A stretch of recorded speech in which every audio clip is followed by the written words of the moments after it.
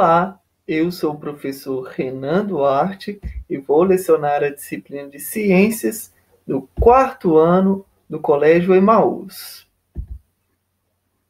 Olá, turma! Chegamos então na nossa oitava videoaula e nesta aula nós vamos fazer a correção dos exercícios que foram que foi disponibilizado para vocês nas, nas últimas videoaulas, tudo bem? Então separem os seus materiais aí tá? Espero que vocês tenham feito. Confio em você, sei muito bem que você gosta de estudar ciências, não é mesmo? E vamos corrigir. Vou falar de forma bem simples, tá? De forma bem breve que dá para vocês entenderem. E se for preciso também, volte nas últimas videoaulas para tirar as dúvidas. Bom, é, primeira coisa que eu vou começar a falar é sobre a pergunta que eu deixei para vocês aí, né? Sobre a pesquisa. Qual que é o maior lixão do mundo? Vocês conseguiram encontrar? Qual que é o maior em volume, maior em extensão e que tem mais lixo? Mesmo? Bom, é, pessoal, lixão é, é onde as pessoas né, jogam lixo, por isso que chama lixão, né? É, então ficou muito comum né, as cidades encontrarem, é, separarem ambientes, assim, áreas verdes para jogar lixo, porque é, é, barato, né? É muito mais fácil a, a cidade, o prefeito, né, os governantes separar uma área verde, né, onde não tinha nada construído e jogar o lixo lá, tá? E à medida que esse lixo da, das pessoas, né, o lixo residencial, vai sendo jogado, vai acumulando, acumulando, acumulando, até é, ter muito lixo, que é o que a gente chama de lixão, beleza? Que hoje em dia não existe mais. Isso é proibido por lei no Brasil, tá? Por que, que é proibido? A gente vai discutir isso rapidinho. Então, olha só essa imagem aí. Que, que vocês percebem? O que, que dá para a gente ver? Tá, primeiro que não é no Brasil essa imagem. Tem umas casas aqui, algumas pessoas, né? Lixo, bastante lixo no chão, cachorrinho.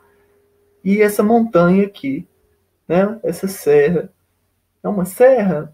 Deixa eu ver. É um lixão. Isso é um lixão, pessoal. Parece ser uma, uma montanha, né? Sim, é uma montanha, só que não é uma montanha igual as montanhas que nós estamos acostumados a ver. É lixo acumulado. Eles fizeram uma montanha de lixo. É um lixão, pessoal, tá? E foi o que eu encontrei uma ilustração é, de, de, se representasse o maior lixão do mundo, tá? É o lixão de Guanzipur, tá? Lá em Nova Delhi, na Índia. Olha só, ele tem mais de 65 metros de altura, tudo bem? Isso daí foi em 2018, tá? É uma reportagem aqui que eu retirei. Se vocês quiserem ler é, a reportagem inteira, podem acessar lá e procurar, tudo bem? Então, olha só a quantidade, a altura, né, que chegou aí é, esse lixão, tá? É muito grande, não é mesmo? É uma montanha só de lixo. Existe outros no Brasil tão grandes quanto, tá? Por exemplo, o lixão de Brasília, tá? Aqui BH também tinha é, lixões, só que, como eu disse, não existe mais, tá? É, esse de Brasília era considerado o segundo maior do mundo, tá? Olha a quantidade de lixo que tinha lá, 40 milhões de, tonela de toneladas, tá? É muita quantidade, tá? Não é nem quilo. Aqui, ó, são 40 milhões de toneladas. Olha só, eu peso, por exemplo, 70 quilos, 75, tá? 70 quilos. Lá tinha 40 milhões de toneladas. É uma outra unidade, tá? É muita coisa, tudo bem? E ele foi fechado é, esse lixão né, de Brasília foi fechado graças a essa lei aí que proibia é, os lixões. Um outro exemplo também muito famoso é o lixão de Jardim Gramacho, no Rio de Janeiro, tá? É, ele era muito grande também, muito extenso. E olha só a situação, pessoal. Geralmente nos lixões, né? É, pessoas que é, não têm oportunidade, né? Não têm acesso à moradia, à água limpa, né?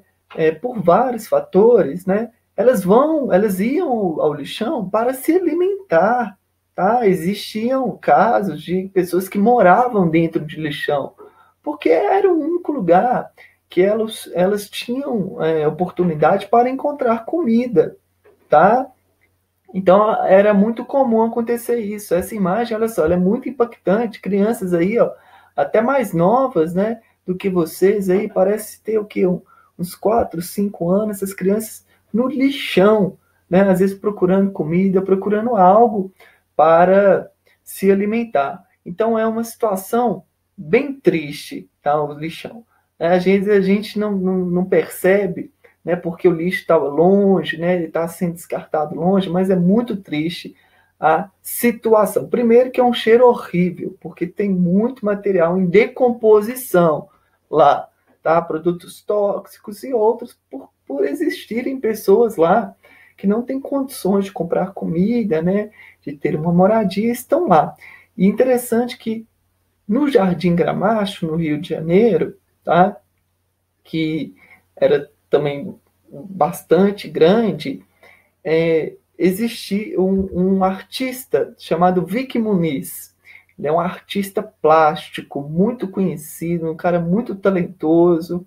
Né? Ele fez um documentário lá que chama Lixo Extraordinário. Tudo bem?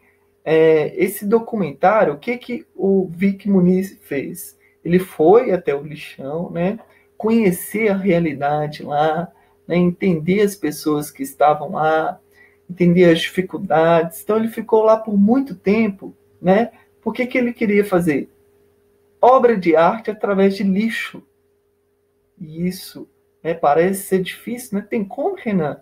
É, nem eu acreditava, mas tem como sim, tá? Então ele, ele transformou lixo, tá? Em obras de arte. Tá? Por isso que ele chamou o documentário de lixo extraordinário. É um documentário muito bonito, pessoal, tá? Se for possível, assistam ele, tudo bem?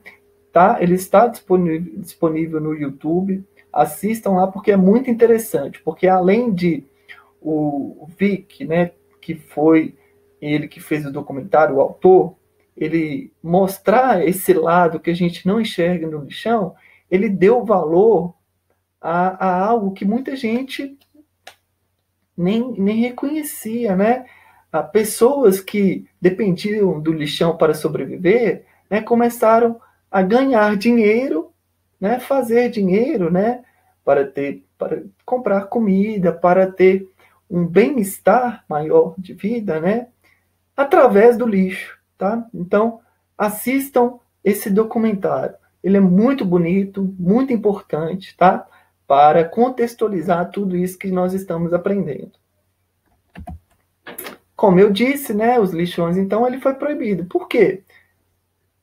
Por causa das condições em que ele era, é, em que ele acontecia, né? Simplesmente as, as cidades, os prefeitos, né, os governantes só liberavam uma área e ia jogando lixo, ia jogando lixo, né? Ó, deixa o lixo aí, o que que tem, né? Ah, tem lixo hospitalar ali, é, injeção de, de pessoas que contraíram doenças, né? É, ratos que transmitem doenças, animais peçonhentos, crianças. Olha só a situação, tá? Então o lixão era muito sujo, muito poluído, né? Primeiro que não poderia haver pessoas ali, muito menos crianças, tá? Então foi proibido lixão para acabar com essa história toda. Primeiro, para jogar lixo no meio ambiente, você tem que proteger o solo, tem que proteger o meio ambiente, né? Porque daquele lixo vai sair resíduos e vai deixar poluir o solo? Não. Então vamos organizar isso daí. Nós vamos criar aterros sanitários, que é um outro nome para lixão, tá? Porque eles organizaram e criaram uma estrutura. Então, a primeira coisa que eles fizeram, colocaram uma lona debaixo do solo, tá? De modo que, à medida que o lixo vai se decompondo aqui por cima, ele não infiltra no solo, então não polui solo. E outra coisa importante, que eles cercaram a área e evitaram que é, as pessoas não tenham acesso a esses materiais que podem ter materiais tóxicos, né, poluidores. Então, é, quando proibiu os lixões, né, criaram os aterros sanitários. Em contagem tem um, tá? Muito interessante. Então, foi só uma curiosidade, tudo bem?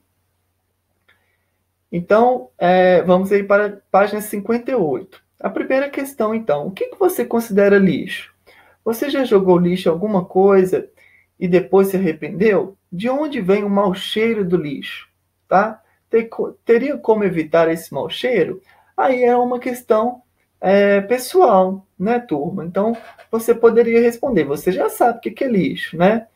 É, aí você ia você responder também se você já jogou o lixo no chão ou não, e se você ficou com a consciência pesada, não é mesmo? Então, como você já sabe as consequências do lixo é, descartado de forma irregular, de uma tampinha de garrafa plástica que você jogou no chão, você já sabe que animais podem se alimentar dessa tampinha, né? Então fica fácil de escrever esse, de responder essa questão.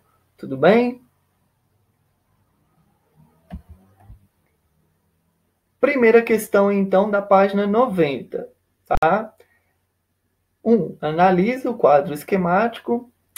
Ele descreve o ciclo dos materiais orgânicos. Então, a gente está falando agora só de material orgânico. Tudo bem? Que, que é um material orgânico? Aqui, ó. Alimento. Tudo bem? Então, olha só. Você compra melancia, compra cenoura e um tomate.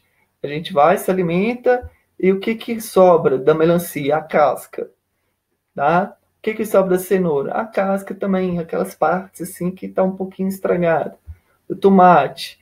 É, dependendo do tomate, às vezes a gente tira até a folhinha, né, pessoal? Não, eu adoro tomate, tomate cereja, então aquele pequenininho, para mim não sobra nada, mas tem sempre uma sobra, geralmente a casca, tá? Aí tem uma setinha vermelha aqui, ó, que vai para o lixo, tá? E vamos supor que esse lixo aqui é só de matéria orgânica, porque eu faço a coleta seletiva. Eu seleciono, tá? Os meus resíduos, meus os lixos.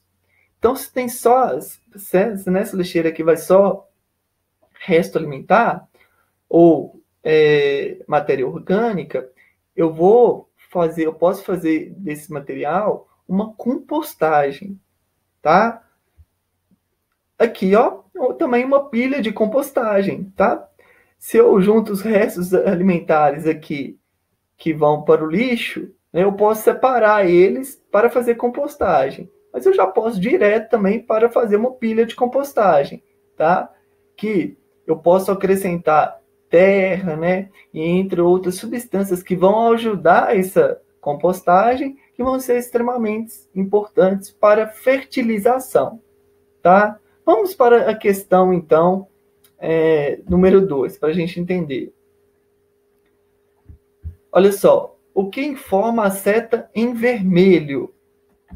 Então, olha só, a seta em vermelho, no caso, está representando o lixo mesmo, então. Tá? Então aqui está de fato material que foi descartado, que foi jogado fora. Vamos supor que aqui no lixo tinha vidro, plástico, e a pessoa não pensou direito, não teve uma consciência ecológica, né? pegou e jogou e misturou os restos alimentares com vidro, plástico e outros é, materiais tudo bem, mas infelizmente não dá para a gente aproveitar esses restos alimentares para fazer aí né, a compostagem, né, que é reutilizar, é, né, eu vou reciclar, na verdade, esses materiais para serem utilizados na fertilização das plantas. De onde vem o mau cheiro produzido pelo lixo? Lembram que é uma transformação, né? Se eu pego restos de frutas que eles vão se transformar, eles vão se decompor em nutrientes. Então está ocorrendo aí uma decomposição, tá? Uma reação química. O mau cheiro vem justamente dessa decomposição dos materiais orgânicos. Microorganismos, bactérias, né, seres bem pequenos auxiliam durante esse processo de decomposição que vai gerar esse mau cheiro, tá? Um cheiro forte. Vem de onde então? Da decomposição dos materiais orgânicos. Qual que é o nome desse processo? Compostagem, tá? Na, na compostagem ocorre a decomposição. É isso daqui. Qual a função da compostagem? Número 4. Né? Qual a função da compostagem no ciclo dos materiais orgânicos? Fácil, né? Então, ela vai transformar os materiais orgânicos, é, resto de salada, é, cascas de frutas, né, em adubo orgânico ou o humus, tá? O humus é como se fosse o, uma, um adubo orgânico, tá, pessoal? Só que no humus aí ele é auxiliado pela minhoca. É, a minhoca é extremamente importante também para a processo de compostagem, porque ela ajuda a revirar, a mexer, né, é, a matéria orgânica misturada com a terra, deixando o solo mais fértil. O que, que o solo fértil é? é? Ele está rico em nutrientes, aumentando a produção de outros alimentos orgânicos. Se ele está muito rico em nutrientes, né, um solo rico em nutrientes, vai nascer muitos vegetais ali, legumes, né? Um solo pobre em nutrientes vai nascer pouco, tá? Um solo fértil quer dizer solo rico em nutrientes. Um solo infértil é porque tem poucos nutrientes. Questão 5. Existem reações químicas durante esse ciclo? Justifique. Lembram o que, que é química? Transformação, tá? Então, o que, que é uma, uma reação química? Eu pegar um produto, tá?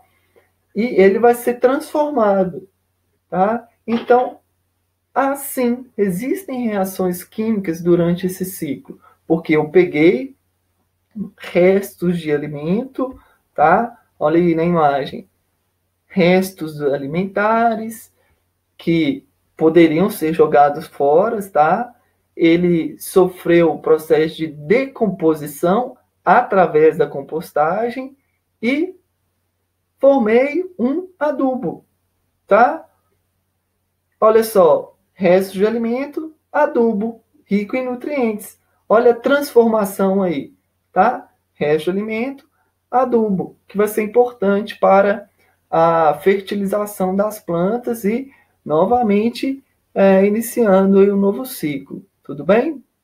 Então, respondendo à questão, assim reação química durante o ciclo. Pessoal, foi isso. Então, espero que tenha ficado claro. Espero que vocês estejam gostando das videoaulas, tudo bem? Bons estudos, grande abraço, até a próxima videoaula, tá? E não se esqueçam, juntos no caminho.